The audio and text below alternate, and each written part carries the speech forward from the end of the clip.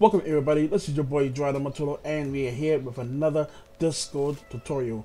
Like always, if you like this video, smash that like button and if you're new here, subscribe for more daily gaming content and even tutorials. So guys, just to let you know that all of the links, websites, downloads and etc is all inside my description below. So go and check it out and I'll see you guys soon.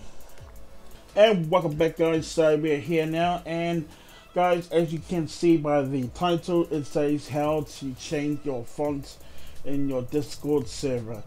Okay so it's really really easy and simple and short guys. Long long story short guys it's really easy okay? So let's get straight to it guys and this is going to be a short video. So all you guys have to do is, is go to my download section inside my description and click the link and you'll be and now you'll be redirected to the website and the website is called fancy text okay? Fancy text generator okay?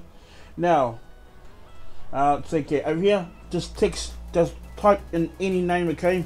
Like Dryder Mataroa and now over here I can see guys this is where I where I got the name from. I'll just copy uh, down over there guys okay? So I can show you guys okay? So guys all you, all you gotta do is copy that okay? And now go to your text folder okay? Go to your go to your wordpad paste it right there guys and now enlarge it. The reason why you need to put it on the wordpad because you need to enlarge it. Because guys if you put it straight in here okay?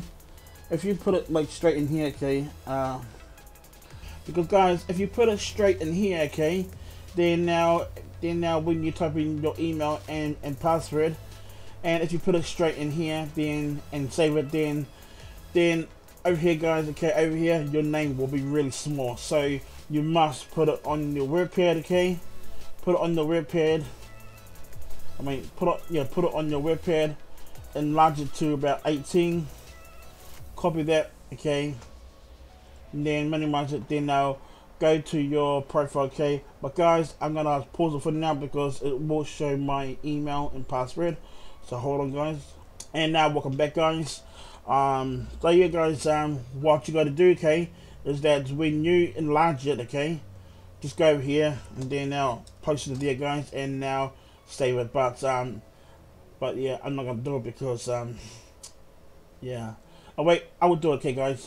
Hold on guys. I'll be right back and there you go and see I have I have done it okay. And now um yeah I changed it a bit. And there it goes guys um but yeah guys if you guys need any help okay on how to change your name then let me know. But I'm gonna change it back to to this one over here because I like that one over there. But yes guys anyway guys that is that is it. Um, I will leave this website inside my description okay so you guys can can open it. Make sure you save this website inside your bookmarks so you can keep doing it okay? But guys that is it. It's really easy okay? I hope you guys do enjoy this video. If you guys did then smash that like button. And if you're new here subscribe for more daily gaming content and even tutorials okay about games and stuff like that okay? So guys i'll see you guys soon. Thanks for watching and peace